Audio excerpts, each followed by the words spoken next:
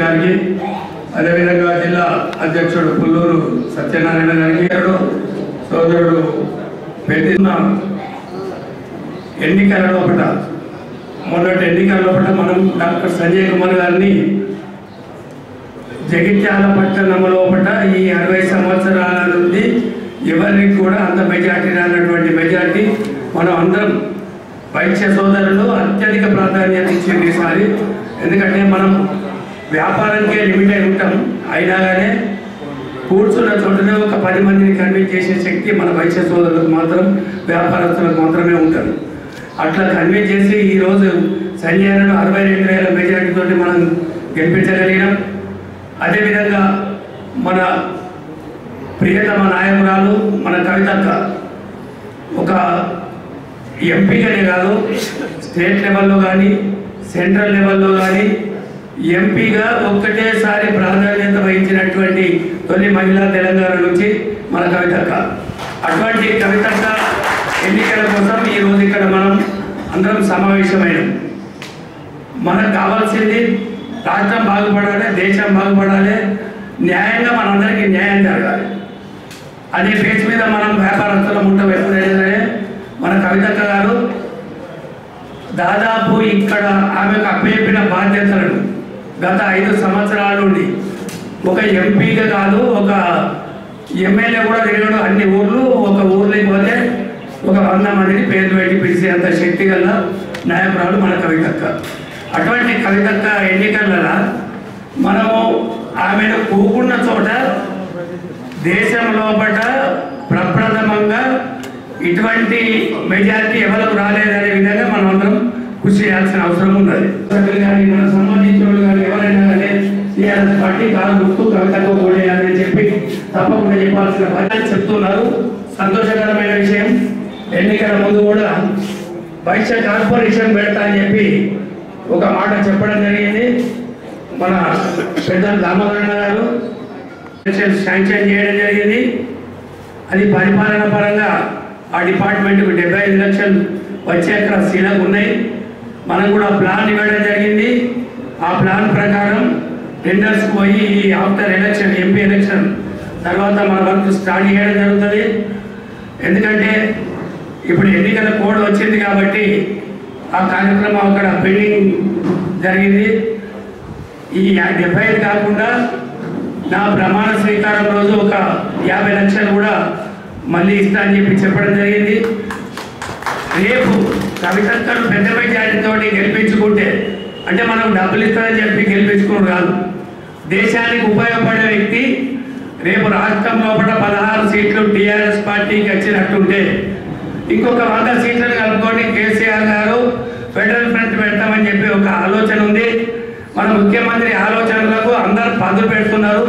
ఏ రాష్ట్రమైనా కానీ రైతు బంధు పథకం కానీ రైతు బీమా కానీ అసలు చెప్పుకుంటా పోతే ఒక తెలంగాణ రాష్ట్రం తప్ప ఏ రాష్ట్రం కూడా ఇంత బ్రాడ్గా ఆలోచించిన ముఖ్యమంత్రులు లేరు. హింది స్థాయి నుంచి మీది స్థాయి వరకు. అన్ని విధాల ఆలోచన విధానం ఉన్నటువంటి మన ముఖ్యమంత్రి గారు అదేవిధంగా వారి సహచరులు కూడా అన్ని విధాల ఏ పని చెప్తే ఆ పని చేయడానికి ఉన్నటువంటి నాయకులు ఉన్నారు. అన్నిటికన్నా పెద్ద మన కవితక్క గారు గొప్ప మనసుతోటి ప్రతి వాళ్ళను రిసీవ్ చేసుకునేటువంటి నేచర్ కవితకై అట్లనే మనం ఒప్పుకున్నందు ఒక్కొక్క ఓటు కూడా మనం ప్రయత్నం చేయాలి. ఖచ్చితంగా మేము వ్యాపారం చేసుకుంటేనా అక్కడ టీఆర్ఎస్ పార్టీకి ఓటేయమని చెప్పి మన వైశ్యులందరం ఖచ్చితంగా చెప్పాలి. ఇంకా తెలిసిన వాళ్ళకు కూడా చెప్పాలి. మన డెవలప్మెంట్ కోసం మనం సంజయనకు బలం రావాలంటే కవితక్క గెలవాలి. కవితక్క గెలిచింది ఏంటంటే రాష్ట్రంలో కేంద్రంలో మనం మన ప్రభుత్వాలు ఉంటాయి. ఇవన్నీ దృష్టిలో పెట్టుకొని మీరంతా ఎడ్యుకేటెడ్సే. మీరందరూ చాలా అనుభవం ఉన్న వ్యక్తులు. అందరూ ఇక్కడికి వచ్చిన వాళ్ళు దాదాపు పొలిటికల్ పార్టీలలో ప్రాతినిధ్యం వహిస్తున్నటువంటి వ్యక్తులే అందరూ. అందుకోసం దయచేసి మీ అందరికీ చేతులెత్తి మొక్కుతున్నా తప్పకుండా కవితక్కను గెలిపించే బాధ్యత మనందరి మీద ఉంది. ఈ నాకు ఈ అవకాశం ఇచ్చిన మీ అందరికీ హృదయపూర్వక మా అందరూ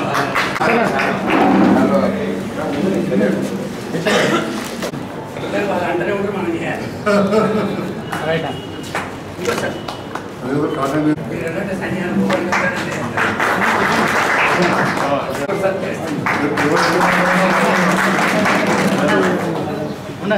कितना यूचो यूचो है थैंक यू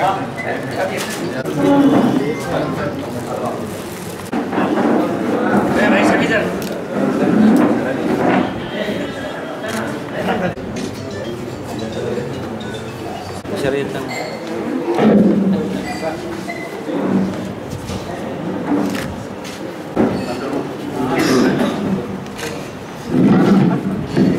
మరి వాస్తవంగా చెప్పాలంటే ఏం లేకుండా మొత్తం జగన్ కిషన్ గారు అన్ని విషయాలు చెప్పేశారు.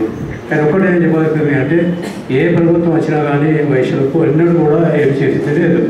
అని వాస్తవంగా ఆలోచించినట్టయితే కేసీఆర్ గారు బంగారు తెలంగాణ ఆశయంతో సబ్బండ వర్ణాలు వారికి సహాయం చేసుకుంటూ ఎన్నో సంక్షేమ పథకాలు ప్రవేశపెట్టుకుంటూ అదేవిధంగా మన వైశ్య కులంలో ఉన్నటువంటి పేద వర్గాలకు కూడా వారు ఎన్నో సంక్షేమ పథకాలు అన్వయించే విధంగా అంటే మనకు వచ్చే విధంగా కూడా వారు కళ్యాణ లక్ష్మి కానీ ఇంకోటి పెన్షన్లు కానీ అదేవిధంగా వైశ్య కార్పొరేషన్ ఏర్పడడం కానీ అదే బ్రాహ్మణులకు కూడా అర్చకుల ఉపాధి కల్పన కానీ ఇంకా అన్ని రకాలుగా మనకు మన జాతి అభివృద్ధి కోసం అంటే మండలంలో ఉన్నటువంటి పేద వర్గాల వారికి చేసినటువంటి సంక్షేమ పథకాలకు ఆకర్షించి చాలామంది వైశ్యులందరూ కూడా మన జగిత్యాల పట్టణంలో ఉన్న సంజయ్ కుమార్ గారిని అఖండమైన మెజార్టీతో గెలిపించారు. అదేవిధంగా మరి మన కవితక్క గారు జగిత్యాల నియోజకవర్గానికి దాదాపు పన్నెండు వందల చి- పైచలకు ఫండ్స్ అంటే నిధులు సమకూర్చారు. ఎన్నో అభివృద్ధి పనులు. అవన్నీ కూడా ఏంటంటే గత ప్రభుత్వం మన పట్టణంలో కూడా డెబ్బై ఆరు వేల ఓటర్స్ ఉన్నారు జగిత్యాల పట్టణంలో. ముస్లిం తర్వాత సెకండ్ ఓటర్స్ మనమే. మన తర్వాత పద్మశాలి మున్నూరు కాపు ఎస్సీ ఇట్లా ఓట్లు ఉన్నాయి. కానీ ఎవరు ఊహించిన విధంగా జగిత్యాల పట్టణంలో గల ముప్పై తొమ్మిది బూత్లో ముప్పై ఎనిమిది వారంలో డెబ్బై తొమ్మిది ఉంటుంటే డెబ్బై ఎనిమిది బూతులను సంజయాలకు మేయాటించిన ఘనత జగిత్యాల పట్టణ ప్రజలని అందులో ప్రముఖ ప్రముఖ పాత్ర వహించిన వైశ్య సోదరులందరూ కూడా ప్రతి గడప గడప ఇంటింటికి ఉన్న వైశ్య సోదర కుటుంబాలందరూ కూడా మా టీఆర్ఎస్ పార్టీ పక్షాన ధన్యవాదాలు కృతజ్ఞతలు. అదేవిధంగా రేపు జరగబోయే పార్లమెంట్ ఎన్నికల్లో కూడా మరి మన మీ అందరికీ తెలుసు మరి మన ప్రియతమ నాయకులు తెలంగాణ సాధనకర్త ఈ తెలంగాణ నాలుగు కోట్ల ప్రజానిక ముద్దుబిడ్డ మన కేసీఆర్ గారి యొక్క కూతురు ఈ తెలంగాణ ప్రాంత ఆడిబిడ్డ మరి పార్లమెంట్లో బెస్ట్ పార్లమెంటరీగా వారు ఉత్తమ అవార్డు అందుకున్న విషయం కూడా మీకు తెలుసు. ఈ ప్రతి విషయాన్ని కూడా గర్వం నింపి దేశ విదేశాల్లో కూడా ఆమెను ఆహ్వానించే విధంగా ఆమె రూపొందించుకున్నందుకు వారికి మనందరం కూడా రాబోయే పార్లమెంట్ ఎన్నికల్లో మరి జగిత్యాల పట్టణంలో అత్యధిక మ్యాట్ ఇచ్చి మరి వాళ్ళ గెలుపు కృషి చేయాలని నేను అందరూ విజ్ఞప్తి చేస్తున్నా. వైద్య మనం మనం అడిగిన వెంటనే కవితకు ఒకసారి డెబ్బై ఐదు లక్షలు సంజయ్ నగర్ సహకారంతో మళ్ళీ కిషన్ అన్న ప్రమాణ స్వీకరణ నాడు యాభై కోట్లు యాభై లక్షల రూపాయలు కోటి ఇరవై లక్షల రూపాయలు వాళ్ళు ఇస్తానని హామీ ఇచ్చారు. డెబ్బై ఐదు లక్షల రూపాయలు కూడా ఆల్రెడీ డిపార్ట్మెంట్ కడుతున్నాయి. సంజయ్ కూడా వెళ్ళి దాని గురించి పూర్తి స్థాయిలో మరి వివరాలు తీసుకొని ఈ నిర్మాణం మొదలుపెట్టే విధంగా చర్యలు తీసుకున్నారు. అనుకోని విధంగా పార్లమెంట్ ఎన్నికలు వచ్చినాయి కాబట్టి పార్లమెంట్ ఎన్నికల తర్వాత నాకు ఒకటే నేను చెప్పేది ఏంటంటే కిషన్ నాకు ఒక నిర్మాణ కమిటీ చేసుకున్నాం కిషన్ అన్న.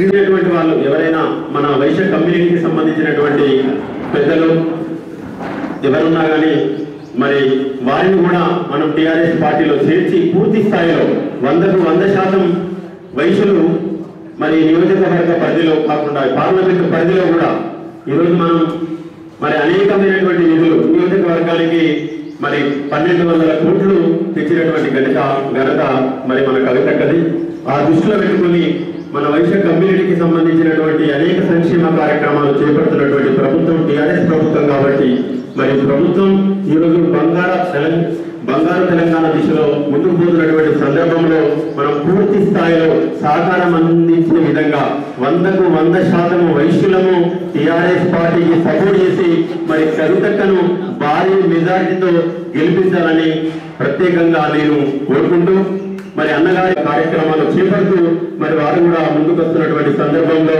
వారికి పూర్తి స్థాయిలో మేమందరం కూడా ముందు జీవితం ఇచ్చి వైశ్యులందరితో పాటు మరి అనేక కుల సంఘాలతో కూడా పూర్తి స్థాయి లోపల మరి అత్యధికమైనటువంటి మెజార్టీ మెజార్టీ వచ్చే విధంగా కవితక్క గారికి మేము సహాయ సహకారాలు అందిస్తామనే విషయాన్ని తెలియజేస్తూ మరి ఈ అవకాశం ఇచ్చినటువంటి పెద్ద ఆశ్చర్యపోవడం ఆనందపడ్డాం. ఎందుకంటే దానికి కారణం గౌరవ ముఖ్యమంత్రి కేసీఆర్ గారి పరిపాలన దక్షత. కేసీఆర్ గారిని చూసి కాలు గుర్తులు చేసి ఓటేశారు. దానితో పాటు సంజయ్ కూడా అందరితో కలిసిమెలిసి సౌమ్యంగా మంచితనంతో మరి మరి అందరితో కలిసిమెలిసి ఉండే వ్యక్తి కాబట్టి సంజయ్ను ఆచరించారు అలాగే స్థానిక పార్లమెంట్ సభ్యులను కవిత గారు కూడా అహర్నిశలు కష్టపడుతూనే ఉంటారు. అసలు నిజంగా ఒక మహిళ ఉంది ఎంత కష్టపడతారంటే ఒకసారి బతుకమ్మ సందర్భంలో నా బిడ్డ అబ్జర్వ్ చేసింది నేను చేయలేదు అమెరికా నుంచి. తొమ్మిది రోజులు తొమ్మిది దేశాలలో బతుకమ్మ నిర్వహించిన వ్యక్తి కవిత గారు. తొమ్మిది రోజులు తొమ్మిది దేశాలను నిర్వహించి హైదరాబాద్ వచ్చి ఎయిర్పోర్ట్ నుంచి నిజామాబాద్ కాన్స్టిట్యూన్సీ పోయింది. నాకు ఆమె ఫోన్ చేసి డాడీ ఎనర్జీ ఇంత ఎనర్జీ ఎట్లుంది కవిత అన్నారు. అంటే నేను కూడా అబ్జర్వ్ చేయను మరి అటువంటి వ్యక్తి మీకు స్థానిక పార్లమెంట్ సభ్యులు కావడం మీ అందరి అదృష్టం వాస్తవంగా. మరి ఈనాటి సమావేశానికి మరి జగిత్యాల సోదరులు అంటే అంటేనే సిద్దిపేట్ కామారెడ్డి తర్వాత వైశ్యులు జగిత్యాల మరి వైశ్యులది కీలక పాత్ర జగిత్యాలలో ఇదివరకు మూడు నాలుగు సార్లు మున్సిపల్ చైర్మన్లు కూడా మరి చిరంజీవి గారు దేశయ్య గారు ఇటువంటి మున్సిపల్ చైర్మన్లు కూడా ఉన్నారు. చరిత్ర జయించారు. కాబట్టి వైశ్యులందరూ కూడా కంకణం కట్టుకొని పోలింగ్ కూడా నైంటీ నైన్ పర్సెంట్ పోలింగ్ అయ్యేటట్టు మన లేడీస్ కానీ వృద్ధులు కానీ అయ్యేటట్టు మొన్న అరవై రెండు వేల మెజార్టీ జగిత్యాలు ఇస్తే ఈసారి లక్ష కావాల మెజార్టీ? ఓట్లు లక్ష పడ్డారు? కవితకు మెజార్టీ లక్ష రావాలి. మరి ఎందుకంటే రేపు మాపు రేపు కవితక్క ద్వారా మరి గంగాధర్ అన్న కూడా జైన్ అవుతున్నాడు సురేష్ గారు కూడా జైన్ అవుతా అన్నారు మరి ఇంకా వారితో పాటు కొంతమంది పెద్దలు కూడా మరి రేపు కవిత గారి సమక్షంలో మరి టీఆర్ఎస్ పార్టీలో చేరుతున్నారు. చేరుతున్నారు కాబట్టి మేము ఉద్యోగ చేరుడు కాదు. యాడ్ కావాలి కదా ఓట్లు. అరవై రెండు వేలు సంజయ్ కస్తే అది పెరగాలి. మెజార్టీ పెరగాలి. పెరిగి కవితకు ఏంటంటే మన అదృష్టం మీ అందరి అదృష్టం ప్రత్యేకంగా. ఆమె పార్లమెంట్ సభ్యురాలు అవడమే నిజమే ముఖ్యమంత్రి గారి కూతురు. పోయి ముఖ్యమంత్రి గారి కూతురు అంటే ఏదో కాంగ్రెస్ ఎంపీ అని కూర్చునే వ్యక్తి కాదు ఆమె. ఆమె భారతదేశంలో పాపులర్ లేడీ అవగాహన ఉన్న మహిళ. చదువుకున్న మహిళ. అమెరికా లాంటి దేశంలో చదువుకున్న ఆమె. మరి బాగా బంగారు తెలంగాణలో బంగారు భవిష్యత్తు ఉన్న మహిళ కవితక్క గారు మీరు మరి కవితక్క కాన్స్టిట్యున్సీ ఒక గర్వంగా చెప్పుకోవచ్చు. మరి అటువంటి వారిని మనం అందరూ పెద్ద మనసుతో ఆశీర్వదించి కాలు గుర్తు కొట్టేసే అవసరం మన దేశుడు కాదు మనం వంద మంది మోటివేట్ చేయాలి. మన కులాలే కాదు వేరే కులస్తులను మోటివేట్ చేసి మనం గెలిపించే మరి ఆవశ్యకత ఉంది. మీకు తెలుసు తెలంగాణ రాష్ట్రం ఎట్లా సాధించబడదు దాదాపు పద్నాలుగు సంవత్సరాలు గాంధేయ మార్గం. మహాత్మా గాంధీని ఆదర్శంగా తీసుకున్న వ్యక్తి కేసీఆర్ గారు. ఎందుకంటే అహింస ఎక్కడ హింసకు తావు లేకుండా. ఒక అహింస మార్గాన్ని దయచేసి కూర్చోండి బ్రదర్. నిల్చున్న వాళ్ళు కూర్చోవలసిందిగా మనకి మరి మీ అందరికీ తెలుసు దానికి కారణం ఎవరు? ఉటిగిరే అభివృద్ధి రేట్లు నెంబర్ వన్ రాష్ట్రం రాదు మాటలతో రాదు చేతలతో వస్తుంది. కాబట్టి దానికి కారణం గౌరవ ముఖ్యమంత్రి గారి కేసీఆర్ గారి పరిపాలన దక్షత అనుభవం. ఇంకా చెప్పాలంటే దూరదృష్టి విజటం అంత గొప్పగా మరి పరిపాలిస్తున్నాడు. అందరు ఆదర్శంగా తీసుకున్నాడు మన పత్రికలలో టీవీలలో చూస్తున్నాం. రైతు బంధు కార్యక్రమాన్ని పదకొండు రాష్ట్రాలు అమలు చేయబోతున్నాయి రేపు భారతదేశంలో. స్వయంగా భారత ప్రధానమంత్రి మరి రైతు బంధు స్కీమ్ పెట్టాలి భారతదేశ రైతులకు అనే ఆలోచన పడ్డది. రైతు బీమా కానివ్వండి అట్లా పోతే చెప్పుకుంటే పోతే మీ అందరికీ తెలుసు ఎన్నో ప్రజలలో విన్నారు పబ్లిక్ మీటింగ్లలో విన్నారు. వెల్ఫేర్ స్కీమ్స్ కానీ మరి అభివృద్ధి కార్యక్రమాలు కానీ మన పూర్వకు మన కరీంనగర్ జిల్లా కాళేశ్వరం ప్రాజెక్టు కానివ్వండి పాలమూరు ప్రాజెక్టు కానీ రైతుల గురించి రాష్ట్ర ప్రభుత్వాలు టీడీపీ కానీ కాంగ్రెస్ కానీ మాటలు మాట్లాడే తప్ప చేతల వరకు రైతులకు నిజంగా చేస్తున్నదంటే మరి కేసీఆర్ గారు చేస్తున్నారు. రైతు బీమా అనేది ఇప్పటికీ దాదాపు మూడు వేల మందికి చనిపోతే సన్నకారు రైతులు బీద వాళ్ళు చనిపోతే వారం రోజుల ఐదు లక్షల రూపాయలు ఇంటికి ఇచ్చారు ఎంఆర్ఓ గారు. మరి ఇటువంటి కార్యక్రమాలు చేస్తున్న ప్రభుత్వాన్ని మనమందరం కూడా ఆలోచించాలి. సరే రైతులకు పిలుస్తున్నాను అక్కడ వ్యక్తి కేసీఆర్ గారు. నేను వయసుల గురించి మాట్లాడినా. అన్న మా దాంట్లో కూడా బీద వాళ్ళు ఉన్నారు. మా దాంట్లో వయసుల కూడా రైస్ మిల్లులో పనిచేస్తారు. కిరాణా షాపులో పనిచేస్తున్నారు. చిన్న చిన్న ఆయిల్ మిల్లులో పనిచేస్తున్నారు. ఐదారు వేల ఉద్యోగాలు చేస్తున్నారు ఐదారు వేలకు. మరి బీదవాళ్ళు ఉన్నారు. వైశ్య సంఘాలు స్పాన్సర్ చేస్తున్నాయి. కొంతమంది దళితులు ఉన్న వయసులు స్పాన్సర్ చేస్తున్నారు. కానీ అయినా సరిపోదు. మరి ఎందుకు బీద వయసుల గురించి మీరు ఆలోచించాలంటే వారు వయసుల గురించి చరిత్ర చెప్తే నేను ఆశ్చర్యపోడు కాదు. మనందరికి కాదు వయసులకు ఎవరి కూడా తెలియదు అంత అవగాహన ఉన్న వ్యక్తి వయసుల గురించి కేసీఆర్ గారు. మూడు గంటలు చెప్పాడు. వయసులు వాళ్ళ జీవన విధానం ఏంది? చాలా మంచి అభిప్రాయం కేసీఆర్ గారికి వయసులు చాలా ఎవరికి ఇబ్బంది పెట్టరు. వాళ్ళ బ్రతుకు వాళ్ళు బ్రతుకుతారు వాళ్ళు ఆధారపడరు ఎవరి మీద ప్రభుత్వాల మీద. వారు భవతి భిక్షాన్ని అనడం సిగ్గుపడతారు ఇవన్నీ చెప్పారు ముఖ్యమంత్రి గారు. అంటే ఎందుకంటే ఎందుకు మీకు చెప్తున్నా అంటే ఆయన ప్రతి ఒక్క కులం గురించి ప్రతి ఒక్క మతం గురించి రాష్ట్రంలో అవగాహన ఉన్న వ్యక్తి కేసీఆర్ గారు. మీకు తెలుసు ఏ ప్రభుత్వాలు కూడా వయసుల గురించి పట్టించుకోలేదు. బీసీలు ఎస్సీలు మైనార్టీ పట్టించుకోవాలి. వాళ్ళ గురించి తప్ప వయసుల గురించి ఎవరు ఆలోచించాలి. మీకేందా మీకేందే మీరే శ్రీమంతులు మీకేందే మీరే ధనవంతులు అంటారు. కానీ కేసీఆర్ గారు స్వతంత్రం వచ్చిన తర్వాత మీ అందరికీ తెలియాలి వైశ్యులు ఎందుకు ఓటు వేయాలి కారు గుర్తు? ఎందుకు ఓటు వేయాలి కవితకు ఎందుకు ఓటు వేయాలి కేసీఆర్ కానీ ఎవరన్నా? బీజేపీ ఉన్న వాళ్ళు అడప తడప ఒక టెన్ పర్సెంట్ ఉంటారు కదా. వాళ్ళని కూడా కన్విన్స్ చేసి మన వైపు తిప్పుకోవాలి కేసీఆర్ గారి వైపు. దానికి మీకు మీకు ఉదాహరణ చెప్తా. ఎందుకు వేయాలి వైశ్యులు కారు కొట్టుకునే దాంట్లో? స్వతంత్రం వచ్చిన తర్వాత. మీకు తెలిసి హైదరాబాద్ నడిపడ్డలు కూడా వైశ్య హాస్టల్ ఉంది.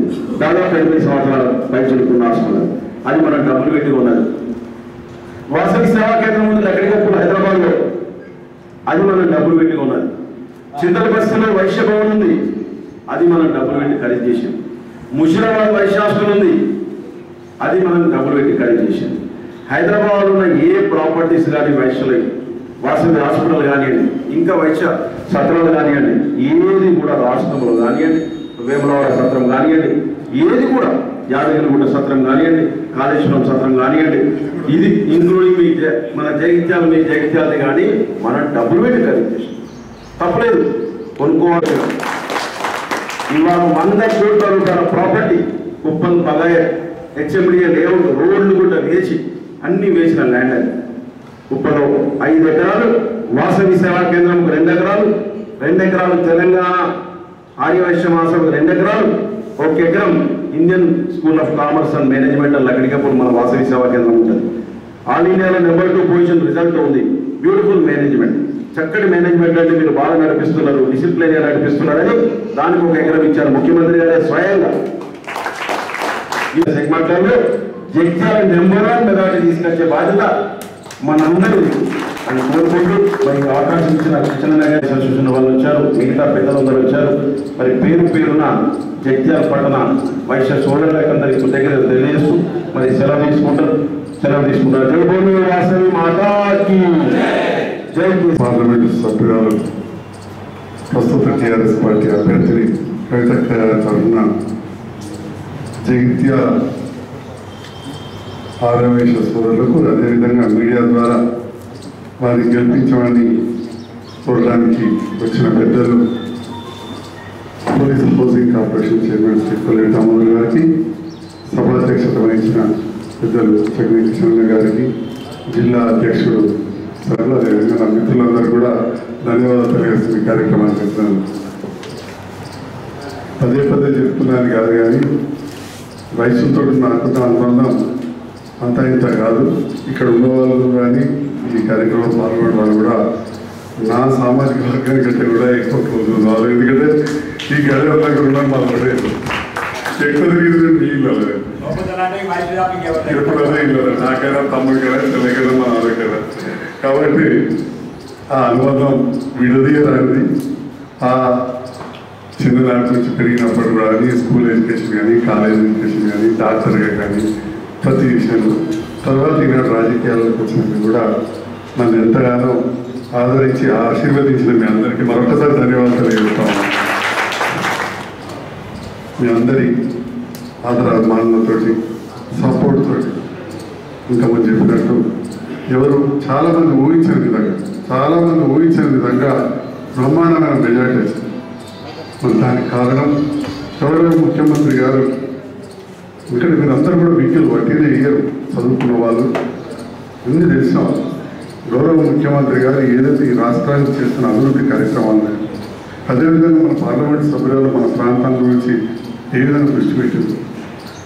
మరి ఇక్కడ స్థానికంగా నేను ఎట్లా ఉంటాను మీకు తెలుసు కాబట్టే మీరు అందరూ కూడా మద్దతు పడతారు మన కళ్ళ కట్టడం కనబడుతుంది. ఇవాళ జగిత్యాలు ఎప్పుడో మాస్టర్ ప్లాన్ అరవై తొమ్మిదిలో గీతం మొదలుపెట్టింది. ఎనభై తొమ్మిదిలో అప్రూవల్ చేసుకున్నాం. ఎనభై తొమ్మిది వరకు వయసు బలం వచ్చింది. చేసినాడు గిట్ట కూడా చూసుకోలే. అలాగే రోడ్డు వరకు రాడికెళ్ళి సంపద రోడ్డు. ఇది మీరు కొనుక్కున్న స్థలం. రోడ్డు ఇచ్చింది కాదు. అప్పుడప్పుడు చెప్తారు రాజశేఖర్ తోటి ఇప్పించినాం. రాజశేఖర్ గారితో ఇప్పించినాం. మీరే గుర్తుకుంటే మీరు అది గొప్ప కానీ మీరు కొనుక్కున్నది కొనుక్కున్నదంటే రోడ్ వేసింది. ఆయనతో రోడ్డు మన ప్రభుత్వం వచ్చినాక ఎంపీగా సహకారంతో ఆ రోడ్డు డివిజన్ చేయించాం అంటే ఇక్కడ పట్టణ పరిస్థితి ఎట్లుంటనేది ఇదే ఉదాహరణ ఈ పరిస్థితి ఈ రోడ్ల పరిస్థితి పట్టణమంతా అదే ఎన్నో చోట్ల ఇదే విధంగా ఉన్నాయి. దాంతో ఇల్లు కట్టుకోవాలంటే ఆ పర్మిషన్లకే కట్టకపోయి అయితే దండం పెట్టాలి లేకపోతే తడపాలి. ఇక దాని వాళ్ళు పెట్టాలి ఎవరు తడపాలి మీకు అందరికీ. నేను చెప్పేది ఏం లేదు. అది ఒక ప్రాంతం కాదు. మీరు కొత్త బస్ స్టాండ్ కొద్దిగా కిందికి పోతే మొత్తం అంతే. పోలీకి ఇప్పుడు రైల్వే స్టేషన్ కట్టేస్తుంది రైల్వే సాయంత్రం అయితే చిన్న వ్యాపారస్తులైనా పెద్ద వ్యాపారస్తులైనా కరెంట్ లేదైతే వ్యాపారం చేయలేము.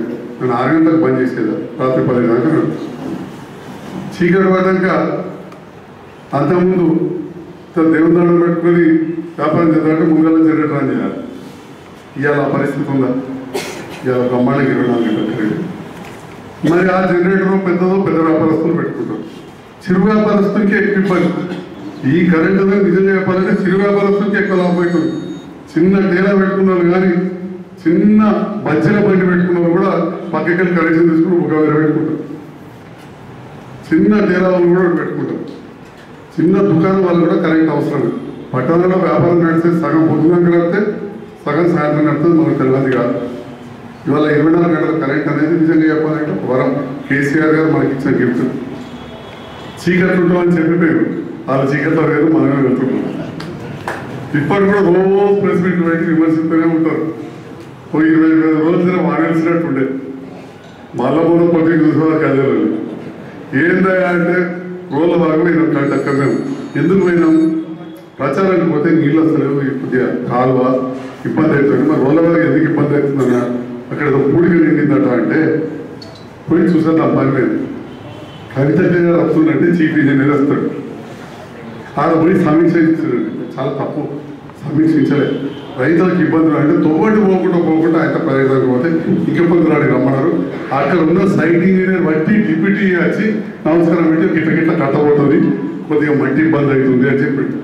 దానికి ఇక నేను ఎలక్షన్ కమిషన్కి రాత నిబంధనలు ఉల్లంఘించిన పెద్ద ప్రెస్ మీట్ ఉత్తరాలు రాసాడు అధికారులకు తెలియదు సో ఓసారి అనిపిస్తుంది మరి. ఇవాళ రిజల్ట్ ఏమవుతుందో తెలియదు కానీ ఇప్పటికే ముచ్చట్లు పెడుతున్నాడు ఇంత పెద్ద ఉంటుందో సంజయ్ డాక్టర్ కల్పించి ఈయన ముగ్గు పోతానే నీళ్ళు పోతాడు అంటున్నాడు ఇలా ఎవరు ఏ పని చేస్తా చేయదా అర్థమవుతుంది ఎలక్షన్ అయిపోయింది. తెల్లారి కదా ప్రెస్ మీట్ పెట్టి దులుపు దులుపు అంటే అటు ముఖ్యమంత్రి గారు తెలియతే ఇక్కడ కవిత అంక మరి ఇది పరిస్థితి. మరి రేపటి నాడు ప్రభుత్వం వచ్చింది. సవ్యంగా పాలన జరగాలి. అభివృద్ధి వైపు మన జగిత్యాల నియోజకవర్గం పరుగులు ఇవ్వాలి. నన్ను పట్టుకోండి. నేను ఏం మాట్లాడు కానీ ఆరుడు కాదు సంజయ్ మంచి పనివాడు అని చెప్పి వారు చెప్తే మీరందరూ కూడా నాకు ఓట్లేసి నిరూపించారు మరొకసారి ధన్యవాదాలు ఎకరాల పది వేల రూపాయలు ఇస్తాం రైతు బీమా రైతు ఇస్తాం ఇరవై నాలుగు గంటల కరెంట్ ఇస్తుంది ప్రభుత్వం. అంటే ప్రజల సొమ్ము మళ్ళీ ప్రజలకు అందే విధంగా ఇంత గొప్పగా ఏ ప్రభుత్వం చేయలేదు.